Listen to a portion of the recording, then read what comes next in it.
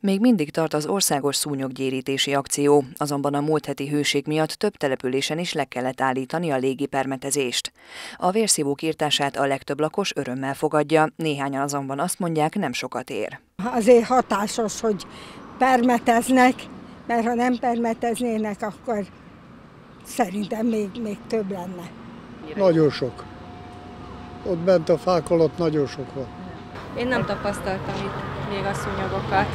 Falun inkább, de itt Pécsen még nem.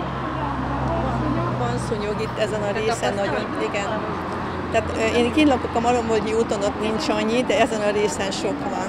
A csípőszúnyogok között mostanra új veszélyforrást mutattak ki szakemberek, nemrég ugyanis hazánkban is megjelent az ázsiai tigris szúnyog.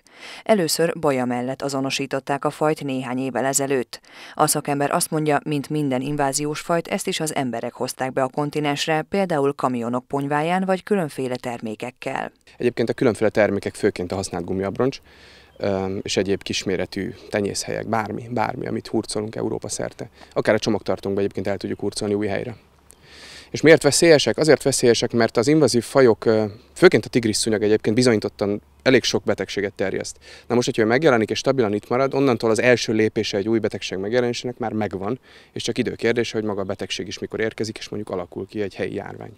Ahogy ez történt is egyébként a csikungunya vírussal Olaszországban például.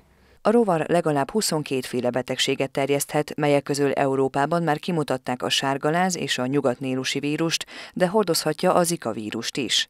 Az ázsiai tigris szúnyog aktívan csípi az embert, a házi és vadállatokat, kétéltűeket, hüllőket és madarakat is. Könnyen felismerhető, fekete alapon fehér foltok, csíkok borítják testét és lábait. Ennél a fajnál is kulcsfontosságú a lakossági szintű védekezés. A jelenlegi adatok szerint egyébként Barcson van egy már megtelepedett populáció, de az országban pontos felmérést még nem végeztek a szakemberek.